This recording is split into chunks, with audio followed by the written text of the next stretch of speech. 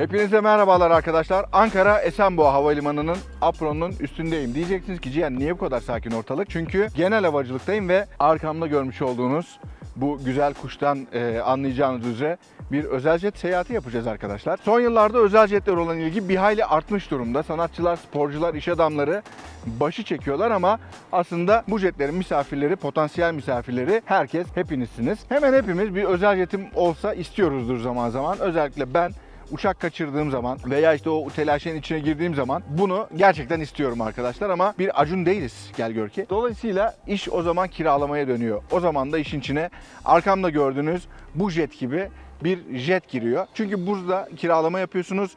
İşte masraflarınız yok, uçak almıyorsunuz, ekip masrafınız yok, şu bu. Aslında bir taksi. Hava taksi diyorlar, doğru. Bir taksi gibi gelip biniyorsunuz ve istediğiniz yere sizi götürüyor. Tıpkı bugün olduğu gibi. Şimdi Ankara Esenboğa'dayız fakat arkamda görmüş olduğunuz TCVTN isimli bu Harrison bünyesinde kurulan Vatanjet'in işlettiği bu Gulfstream G450 model jet İstanbul'dan Bodrum'a yolcularını alacak ve biz de aslında Ankara'dan İstanbul'a bu e, boş bacakta misafir olacağız. Sağ olsunlar bizi davet ettiler. Ben de bu fırsatı kaçıramazdım asla. Çok konuştum biliyorum. Videoya giriyorum. Kısa bir hatırlatma. Yorumlarınızı lütfen esirgemeyin. Ayrıca yapmanız gerekenleri beğenme beğenmeme falan biliyorsunuz. Artık bunları her videoda söylemiyorum. 50 bini geçmişiz bu arada. Hepinize çok teşekkür ediyorum. Gelin bakalım. Şimdi bir de sorularım var. Kim kiralayabilir? Ne kadara kiralayabilir? Kaç kişi uçabilir? Diğer birkaç soru var aklımda. Onları da soracağım. Ee, işletme direktörü Onur Bey bizlerle beraber olacak. Beraber seyahat edeceğiz. Uçağın içine doğru gidiyoruz arkadaşlar. Gelin bakalım.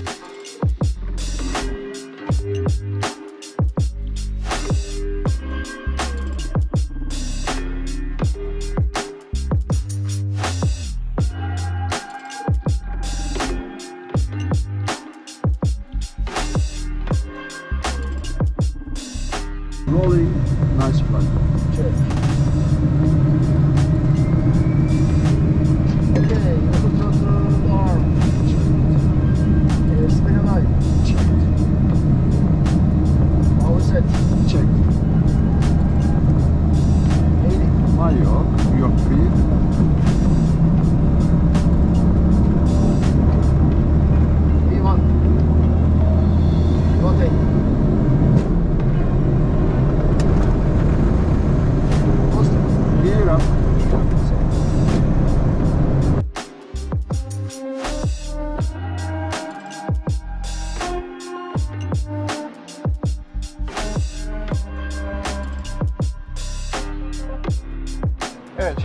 Kalktık İstanbul'a doğru gidiyoruz. Kalkarken sabit kameralardan gösterdim. Çünkü burada da normal uçakta olduğu gibi uçak kalkarken inerken Orada tavan mesafesi 1.85'im ben. Oradan kerteriz alıp. Uçak kalkarken, inerken vesaire emniyet kemeriniz bağlı koltuğa oturmuş durumda olmanız lazım.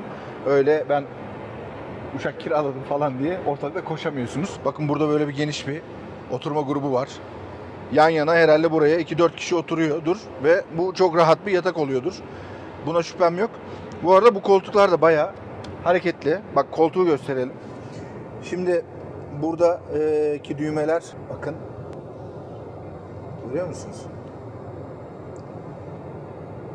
Şimdi bu koltuk nasıl öne geliyordu? Bak buradan şöyle öne geliyor. Ondan sonra buradan kolçaklar açılıyor vesaire. Böyle ayaklık geldi. Bir de bu da böyle yatabiliyor. Gördüğünüz gibi idare eder. Allah taş yapar ya çok rahat gözüküyor ya. Bence önümdeki de aynı şekilde oluyor.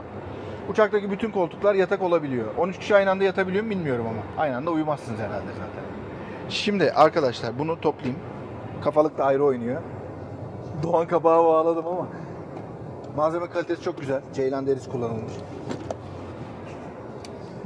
Gel bak, bak burada masa var. Business bir durum olunca zaman çok kıymetli bir hal alıyor.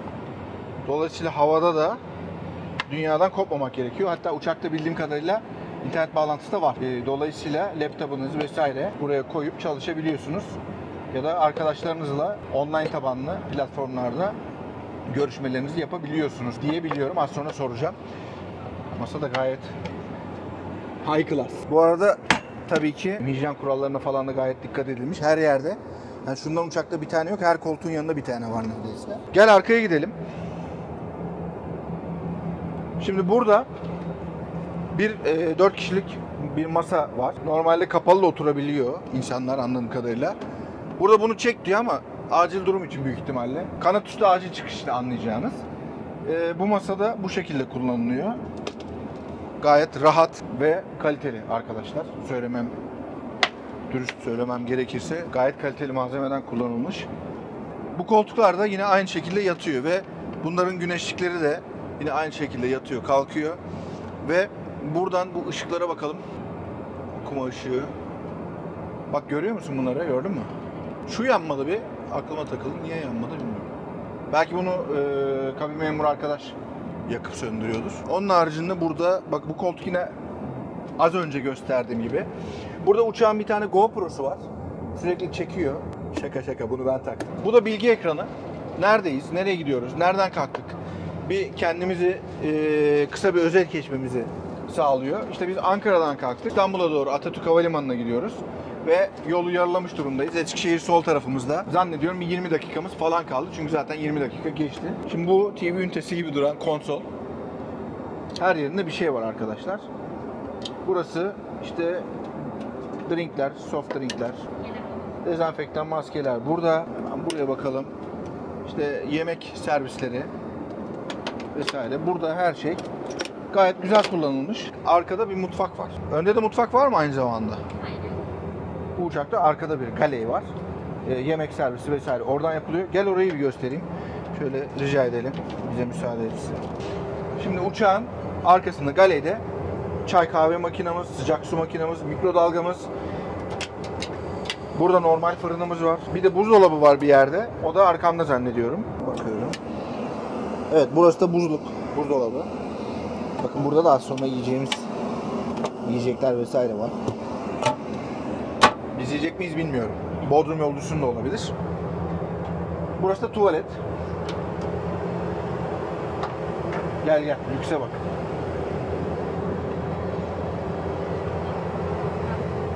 Battaniyeleri var. Kapatınca açabilirsin. Bir Gel biraz dar bir ortam ama yerler halı falan. Çok yüksek sınıf yani böyle tuvalet. Klozet böyle.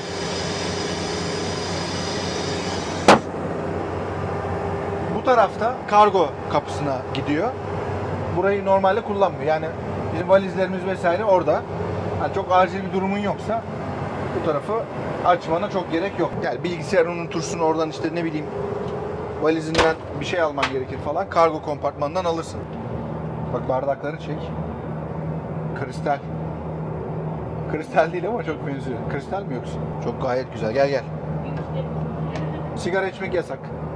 Öyle ben özel jet kiraladım. Sigaramı içerim falan öyle bir şey yok. Yani onu buradan duyurayım. Burada da müzik sisteminin yönetimi var arkadaşlar. İşte uçağı kiralayıp doğum günü balayı şu bu falan gibi bir şey yaptığınız zaman kendi getirdiğiniz müziği de buradan yine çalabiliyorsunuz.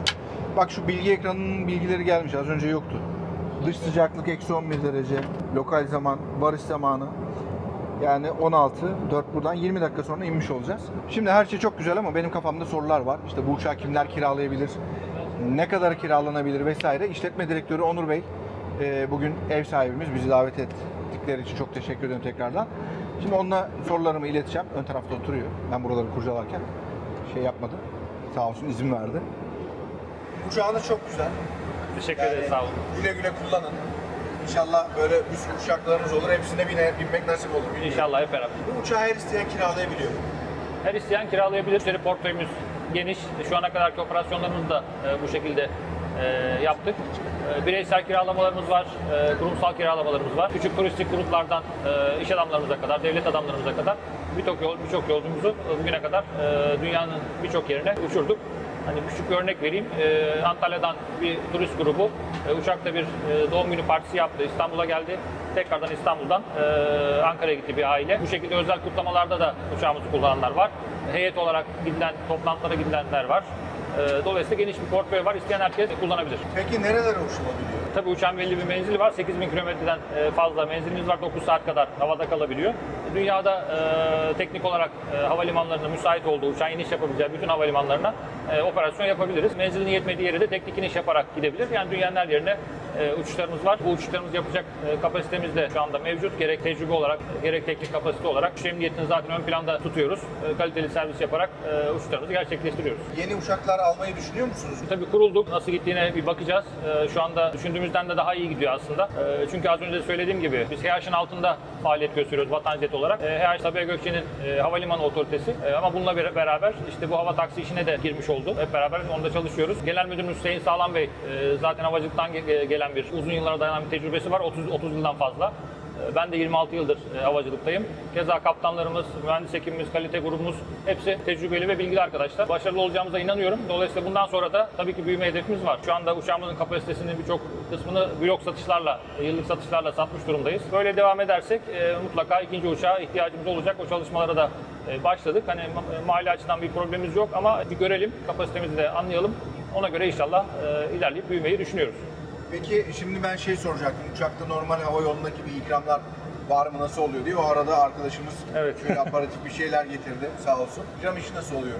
Ya tabii hava yolunda standart e, ikramlar var. E, belli bir saatte gelir gider uçuş saatine göre. Bizde e, her şey yolcunun e, talebine, isteğine göre şekilleniyor.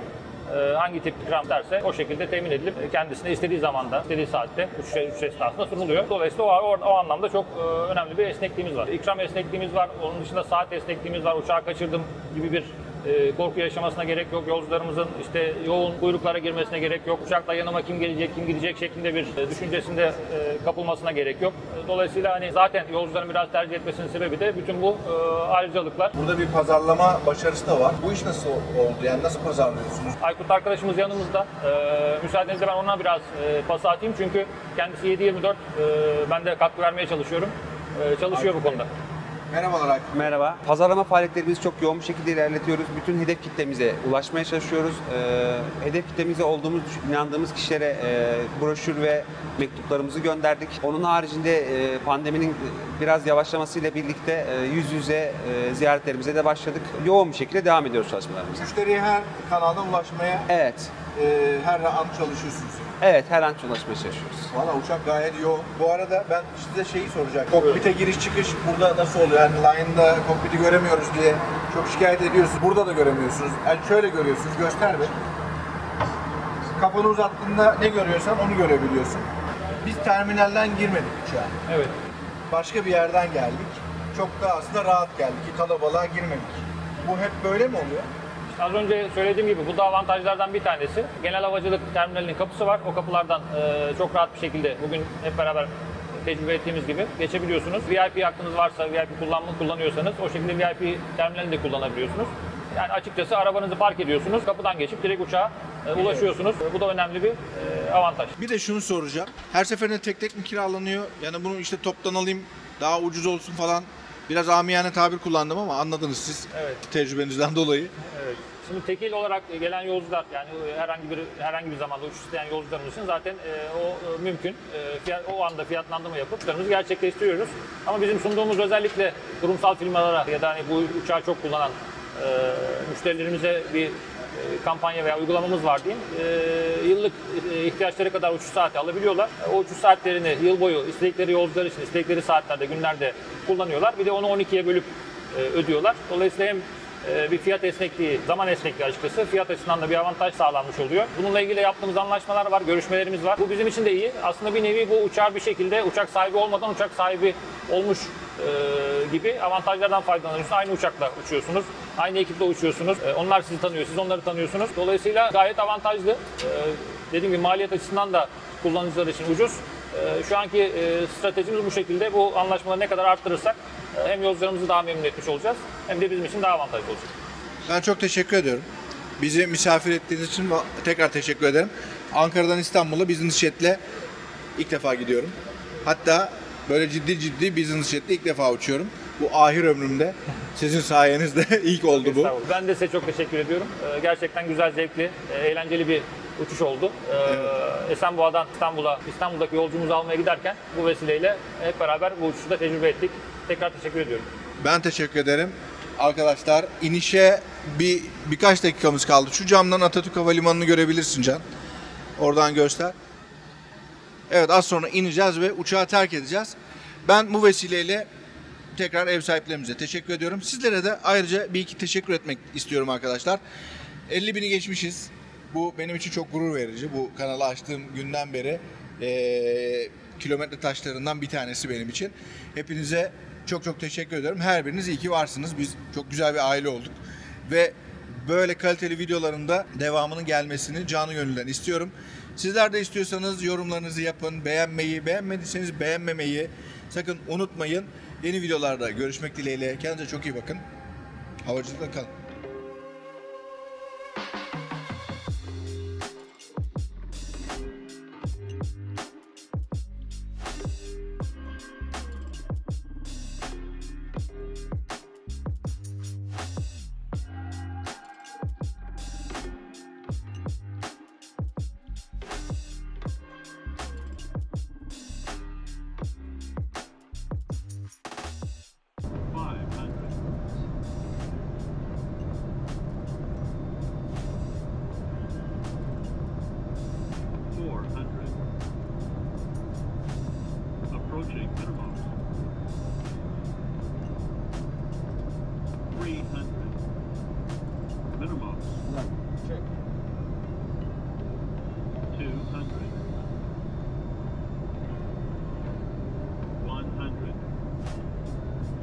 50, 40, 30, 20, 10.